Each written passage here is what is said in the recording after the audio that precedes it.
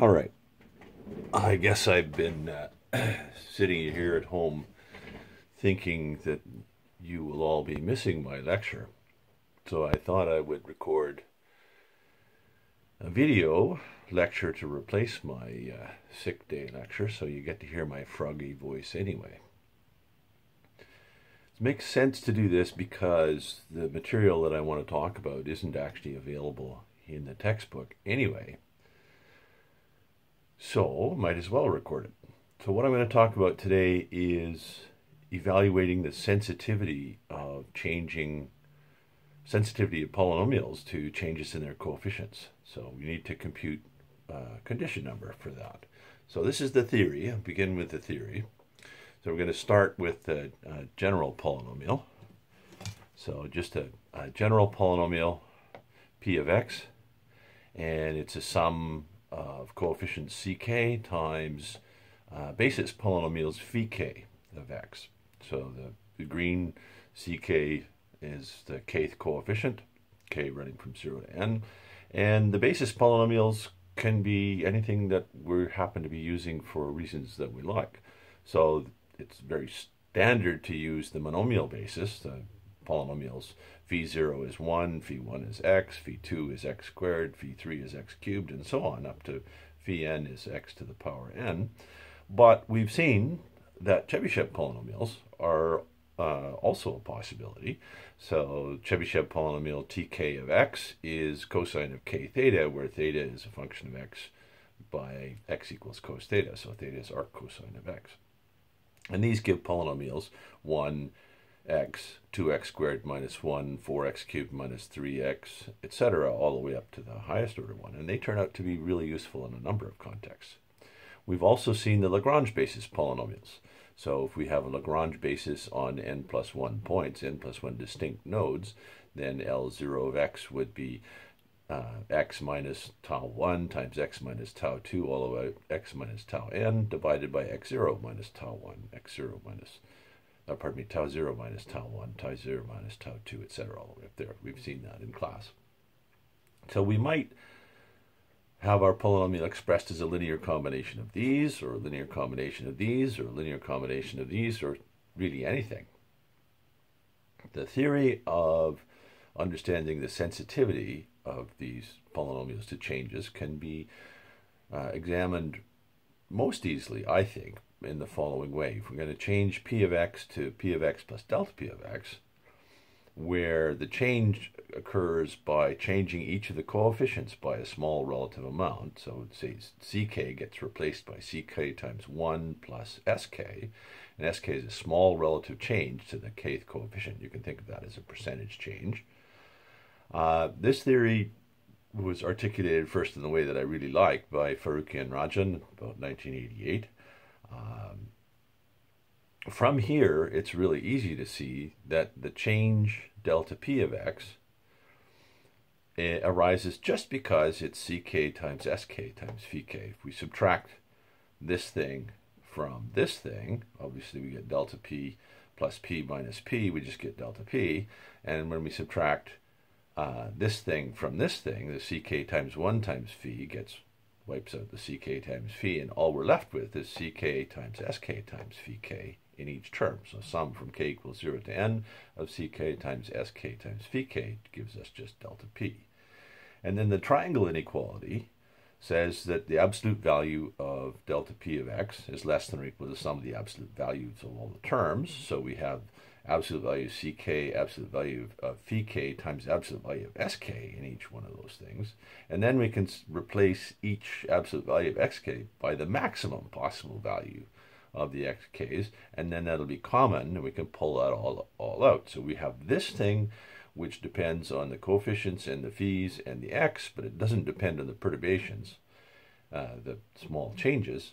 And then we have this part, which is just purely about the small changes. So we've separated something to do with the polynomial, something to do with the changes in the coefficients.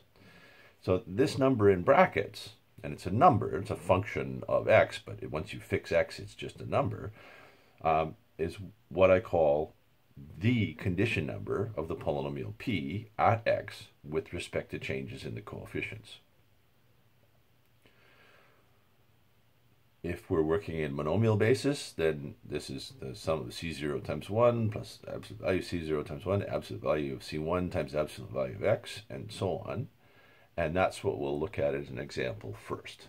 So I'm just going to cover this up for a moment.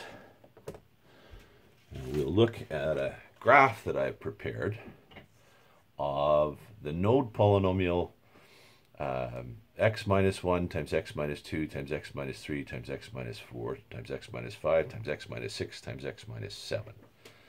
So that's just um, a polynomial with zeros at x equals 1, x equals 2, x equals 3, x equals 4, x equals 5, x equals 6, and x equals 7. And it's monic. We have just a pure power of, of x. When we expand it, we get x to the power 7 minus 28x to the power 6 plus 322x to the power 5th minus 1960x to the power 4 plus 6769x cubed minus 13,132x squared plus 13,068x minus 5,040. The b of x you get by taking the absolute values of everything. So the absolute value of x to the power 7 plus 28 x to the power 6 plus 322 x to the power 5, 5 etc. So all plus signs in there. So there's the b of x that goes with this uh, node polynomial expressed in the monomial basis 1 x, x squared, x cubed, x to the fourth, x to the fifth, x to the sixth, and x to the seventh. Now we come to the dynamic action part of this uh, uh, video.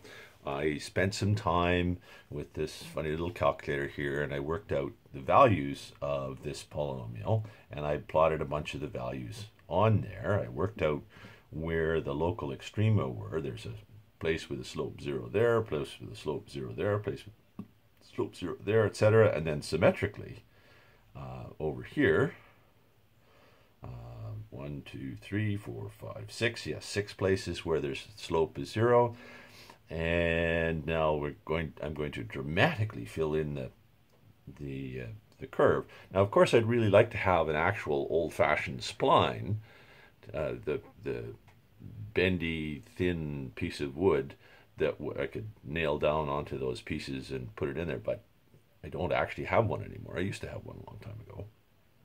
But now I'm just gonna do this freehand. Uh, not very well probably but anyway we have to go through the origin there, come up, and I'm not doing very well on the freehand here. Luckily, it's in, in pencil.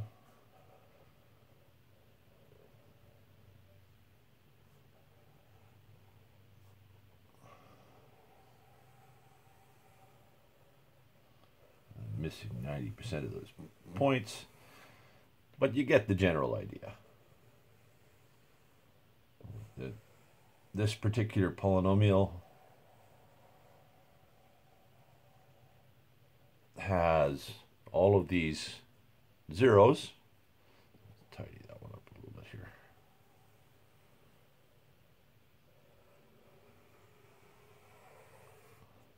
And the oscillations are out towards the edge are starting already, even though this is only degrees 7.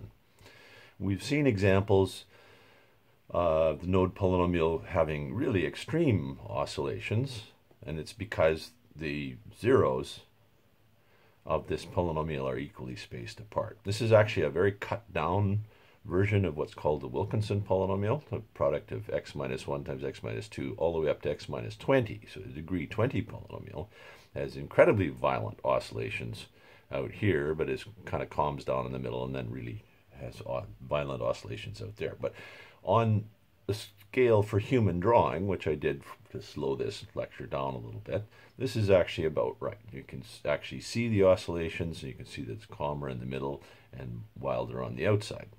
So this makes this is a, a nice example of a polynomial that uh, has alternating signs.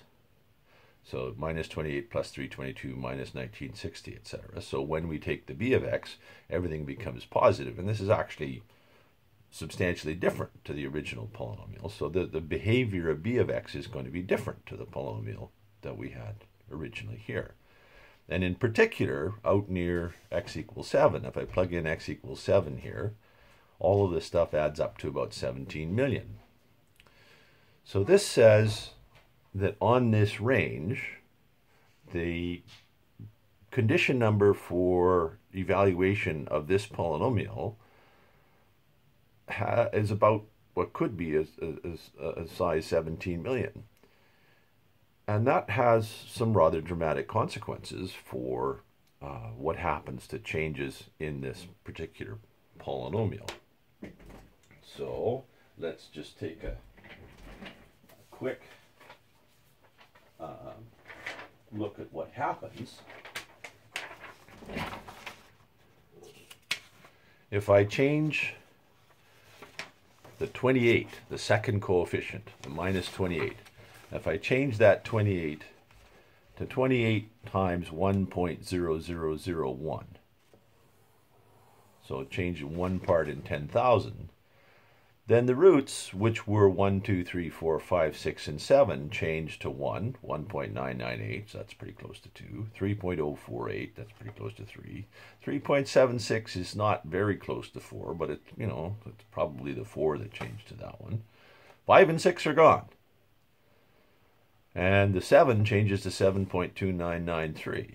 Well, where did 5 and 6 go? Well, you actually have to look in the complex plane. There are two complex roots, 5.4475 plus or minus 0.6747i. So if we draw the roots in the complex plane. We have sort of 1, sort of 2, uh, sort of 3, sort of 4. Oh, these two complex roots way out here, and sort of 6. So what has happened in changing the 28 to 28.0028, if we just think of this number uh, gradually coming up to this. if you think of 28 gradually changing to 28.0028. The roots would gradually change. What would happen is that the roots initially at 5 and 6 would come together and they meet and then they go off into the complex plane. So it makes for a dramatic change. So change the roots by one part in 10,000 and the roots change by about, uh, well, about one half, close to, you know, maybe a little bit more than that, maybe about 0.8. So that's less than the predicted condition number of about 10,000, or pardon me, uh, 17 million, but still substantial. So that, that condition number that we had before is a bound, and it can be actually achieved, but uh, often the changes are less than that. But if that condition number is large, then dramatic changes can happen.